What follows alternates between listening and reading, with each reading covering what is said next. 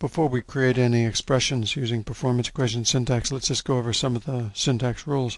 Uh, numbers are just the way you would expect. They appear as numbers. Uh, tag names, oddly enough, always appear within single quotes. So sinusoid represents sinusoid. That represents that pi tag, always within single quotes.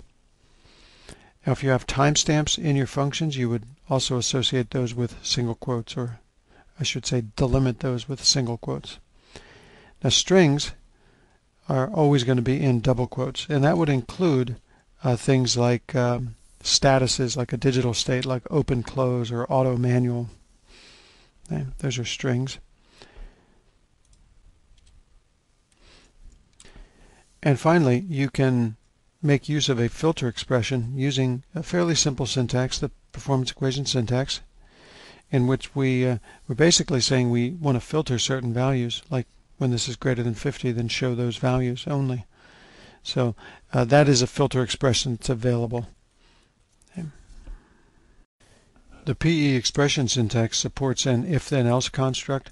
Uh, we don't support the case statement though, so in order to do something like a case statement, you would have to nest uh, other if-then-else expressions within the expressions in a kind of a, uh, a parent if-then-else function. So that if-then-else uh, function works. And uh, it is actually possible to specify a function that doesn't send anything to pi. Okay?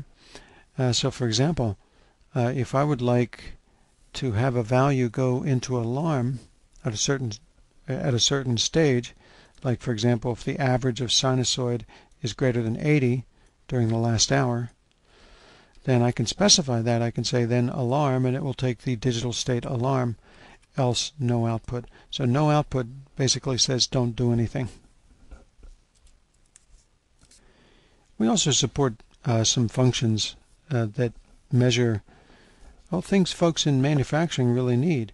Like for example, we've got a function here called time less than, and it measures the amount of time a pi tag has been less than a given value during a specific period of time. So for example here, time greater than, we're saying how long has that tag from yesterday at midnight to today been greater than 10? And let's divide that by 86,400. That's the number of seconds in a day. So we're going to return the value in seconds, and this, this would give us, in this case, a percentage, how long it's been greater than, um, than that value 10.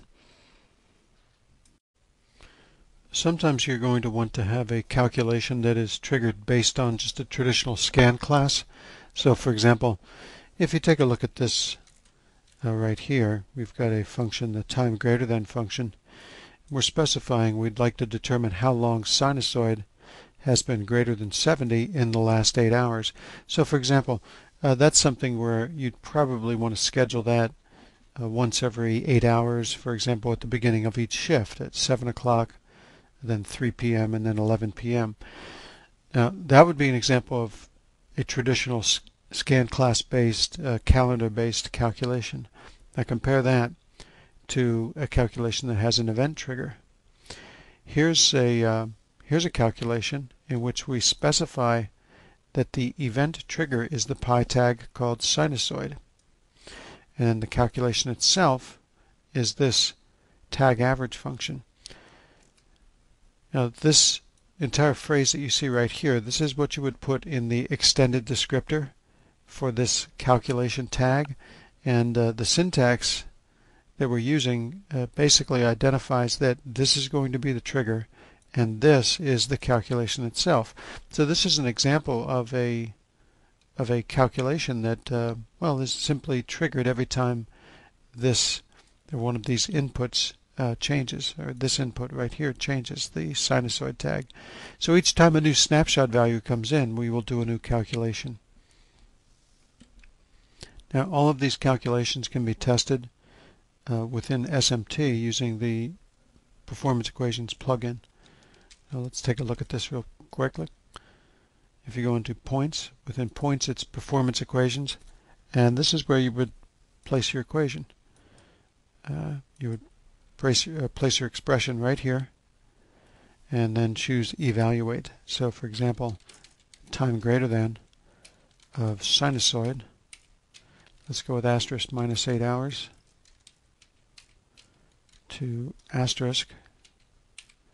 And we'll say how long has it been greater than 70. Uh, when I evaluate this, this is going to come back with the answer in seconds. So that tag has been greater than 70 uh, for that many seconds. And again, if we were to take this and divide by, uh, for example, the number of seconds in 8 hours, that'd be 60 times 60 times 8. This would give me the answer in percent. Yeah, for 45% of the time it's been greater than 70. So this is an example of how you can, using this performance equations plugin, you can test the equation. And we'll take a look at some of the other things you can do with this plugin later.